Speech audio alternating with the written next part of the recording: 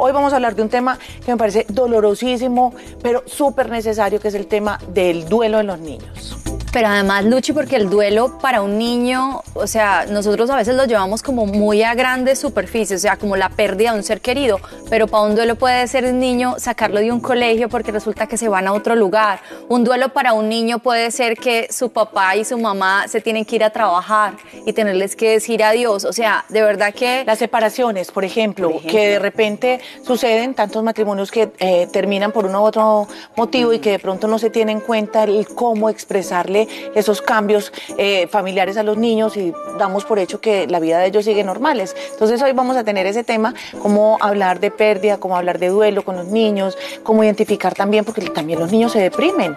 ¿Cuándo puede haber un caso de depresión en las tasas también de suicidio en los niños y es, y es increíble que uno diga, un niño que apenas está en todo el proceso de vivir, de exploración, de disfrutar y saber que existan estos casos por falta precisamente de conocimiento. Así que yo creo que es hora. Yo creo que es ahora estamos de acuerdo. Y la doctora Sara Valderrama, nuestra psicóloga invitada, ya está lista. Le vamos a pedir entonces que nos acompañe. Bienvenida, Sara. Doctora, bienvenida a las tres. Gracias, gracias. Qué bueno que nos acompañe el día de hoy. Muy bienvenida. bien, gracias. Todo tuyo el sofá azul. Todo tuyo. sí, literal. Literal, bienvenida. De verdad, un placer que hoy nos acompañes precisamente para darle manejo al tema de los niños. Como adultos a veces nos complicamos mucho la vida y creo que más de lo normal. Y pensamos que así como la complicamos nosotros, se la complican los niños y no sabemos darle manejo. A veces damos muchas explicaciones y ellos no necesitan tantas explicaciones. ¿Cómo comenzar con el tema de los duelos de los niños? Bueno, el tema de los duelos de los niños es un tema muy complejo, como ustedes dos mencionaban, porque hay muchos duelos que van teniendo los niños, ¿cierto?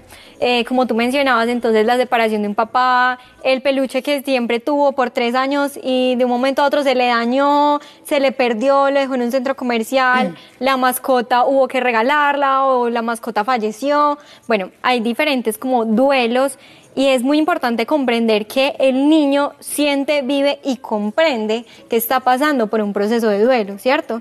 Eh, este tema se puede empezar a trabajar con ellos sin necesidad de que esté pasando por un duelo.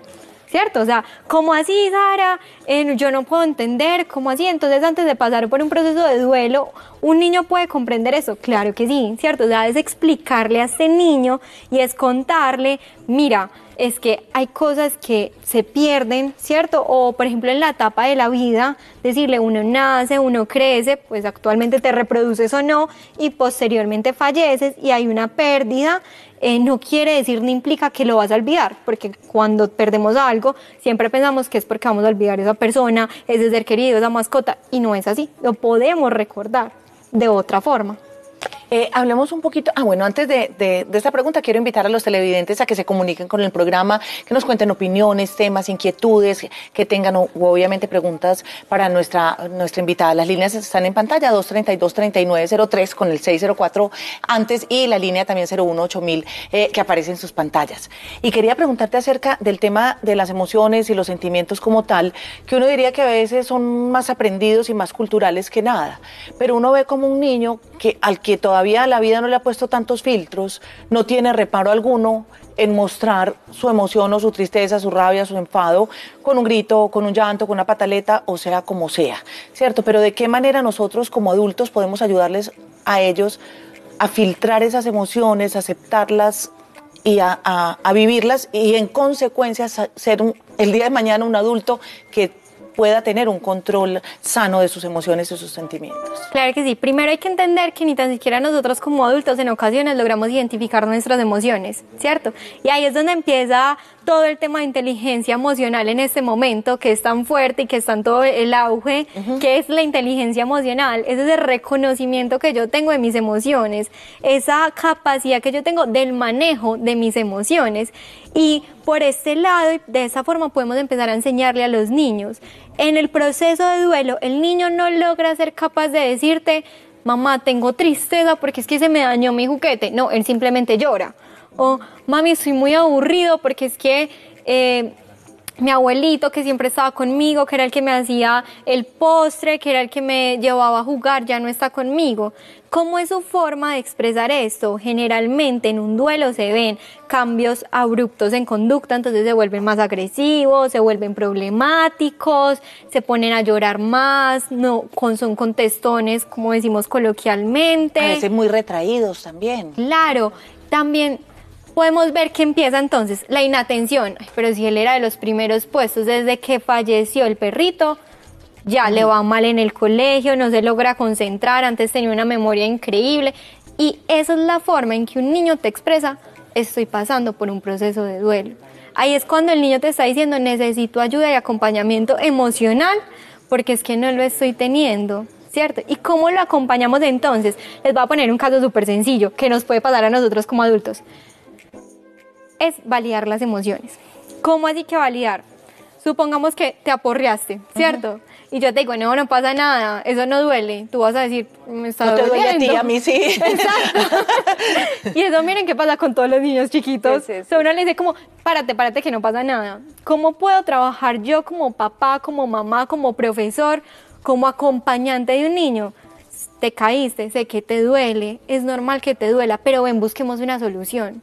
¿Qué podemos hacer? ¿Queremos llorar un momento? Listo, lloremos, pero ahora ¿qué vamos a hacer? Y así le empezamos a dar estrategias a ese niño para que aprenda a controlar sus emociones y aprenda a hacer algo con ellas. Ay, Y me Marta parece está en la chévere. línea. Me parece chévere esos ejemplos y por eso enseguida voy a hacerte una pregunta precisamente con muchos de esos casos que tenemos con nuestros niños. Y vamos a aprovechar porque Marta está en la línea. Marta, bienvenida a las tres, gracias. Buenas tardes. Buenas, Buenas tardes. ¿Cómo estás? ¿Cómo están? Muy bien, Muy bien, ¿y ¿y tú? ustedes? Muy bien, ¿desde dónde nos llamas? Desde Manrique. Manrique. ¿Y tienes pregunta, comentario acerca del tema del día de hoy? Sí, tengo una pregunta para la doctora. Claro que sí, adelante. Eh, ¿Desde qué edad tiene un niño pues como la conciencia para enfrentar un duelo, por decirlo, la pérdida de un padre? Un duelo de esos pues que ya es como de otra magnitud. Perfecto, Marta. Gracias por tu llamada y esperamos entonces que Sara nos ayude con la respuesta. Claro que sí, Marta. Es muy importante tener en cuenta que el niño empieza a entender la separación desde que nace, ¿cierto? Cuando somos bebés nos acostumbramos a una persona. Les voy a poner un caso, como tú me decías. La mamá lactó los cuatro meses, estuvo los cuatro meses, tiene que ir a trabajar. Miren que generalmente el niño empieza a llorar. Y todo el mundo es, pero yo qué hago, pero es que llora y llora y llora y yo no sé qué hacer como ustedes hablaban ahorita, eso es una pérdida. El niño está perdiendo esa mamá que estaba todo el tiempo con él. Entonces, también lo que les explicaba, buscar qué herramientas o qué cosas puede tener para recordarla. La camisa de la mamá que permanentemente la usaba, si se la dan al niño, puede oler el olor de la mamá y se va a calmar. ¿Cierto? Entonces, desde siempre empezamos a pasar un proceso de duelo. ¿Qué si pasa? Cada etapa en la que estamos en un proceso de duelo va a mirar la muerte de una forma diferente, ¿cierto?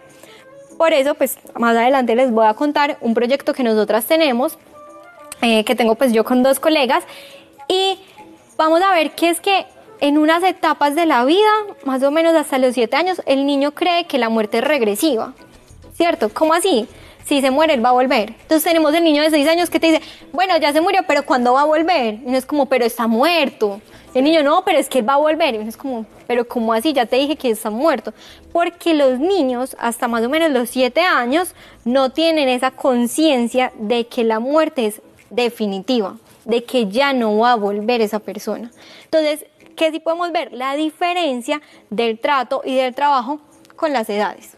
Entonces, dependiendo de las edades, ahí Ay, se me parece súper interesante. sí. Entonces partamos desde ahí. Desde que nacen hasta los siete años hay un tema donde no hay eh, ese concepto de la palabra definitiva, lo determinante.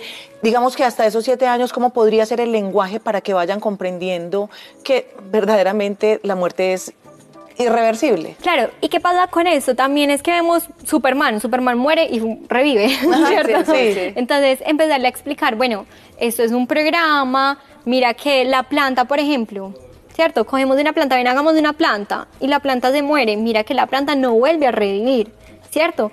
La planta no vuelve a la vida. Enseñarle con ejemplos, porque un niño de 6 años, de 7 años, de 5, 4 años, no te va a entender si tú lo sientas acá y hace esta conversación no te va a comprender. Con ellos es más de juegos, más de didácticas, de ejemplos, de cosas más tangibles y reales. Entonces, y, de, y de ahí, de los siete años, ¿hasta cuándo ya comienza, digamos, otro tipo de comprensión de, de, las situaciones de pérdida? Bueno, ahí empezamos a entender y comprender un poquito de ahí en adelante porque la parte cognitiva, es decir, lo que llamamos mental, va evolucionando también con nosotros a medida que vamos creciendo. Entonces también va empezando a entender el niño que es algo finito. Y mira que si nos vamos al cole, eh, está también muy estructurado con las enseñanzas que hay en el colegio, ¿cierto? Porque el niño te enseñan unas cosas, pero ya cuando llegas a los 8 o 9 años te empiezan a enseñar entonces la media con, con los frijolitos que le salen los pelitos, ¿cierto? Miren que también va muy alineado a esto. Entonces ya empieza a haber una conciencia de que ya hay un fin. Sin embargo, que haya una conciencia no implica que no debe haber un acompañamiento, ¿cierto? Muy importante eso. ¿Por qué? Porque así seamos adultos necesitamos un acompañamiento. ¿Cómo así, Sara? Sí, hay una importancia grande de que en todos los procesos de duelo de toda la vida haya alguien pendiente de nosotros diciéndonos cómo te sentís, cómo estás en este momento emocionalmente, ¿cierto? Vení, que, que ritual y no ritual como de lo que llamamos coloquialmente, sino que dibujo, que carta, qué le querés hacer a ese objeto, ser querido, trabajo, mascota, que ya no tenés a tu lado. Sara, te quedas con nosotros un rato más. Vamos a hacer un par de temas y volvemos para que nos cuentes, entre otras, también acerca del proyecto que manejas con eh, tus otras dos eh, colegas y que hablan precisamente de esos procesos de duelo en los niños y, y otros más. Claro que sí. Muchas gracias. Nosotros, ¿qué tal, Sandra? Si nos vamos para una pausa, comerciales son muy cortos y volvemos con más temas y Sara también más adelante. Pequeña.